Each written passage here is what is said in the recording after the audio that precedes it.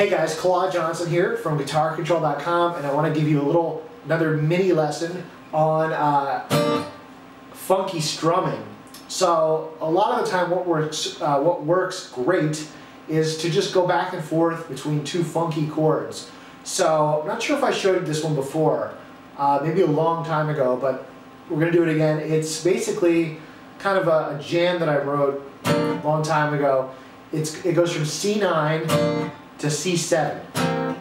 Alright, so this 9 chord is great not just for funk, but also very nice for blues as well.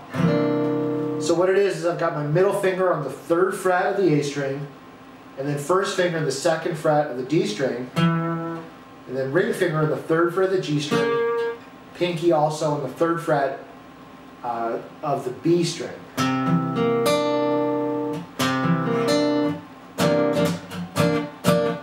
So I don't, I'm not going to count out the strum, you can just feel it out. Alright, so that's the basic riff.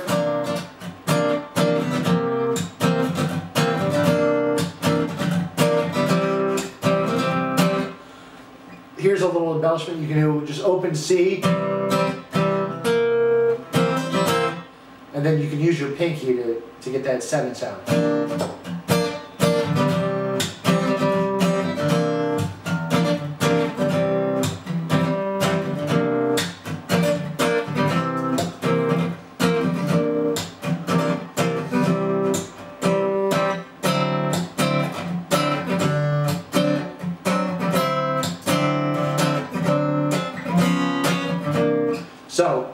When you get bored of playing in the key of C, slide it up to, to D, just go up one step.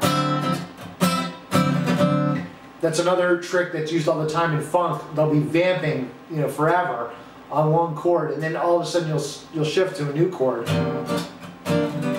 All right, so.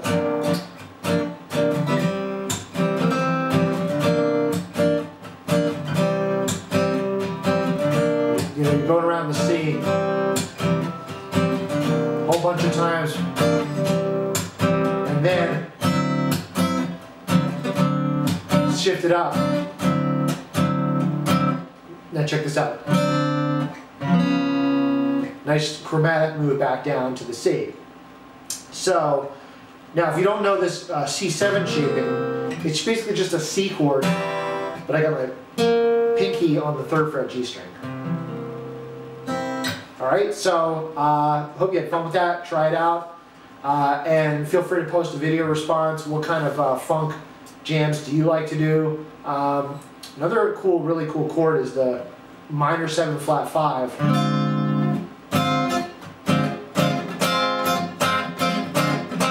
Or this one. So there's all kinds of, uh, of great funk chords. Um, let me know your favorites. And uh, yeah, click, uh, post a comment, post a video response, click the link in the tabs, just do something, man, you know? Uh,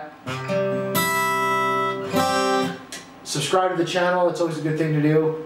Alright, thanks for watching, take care.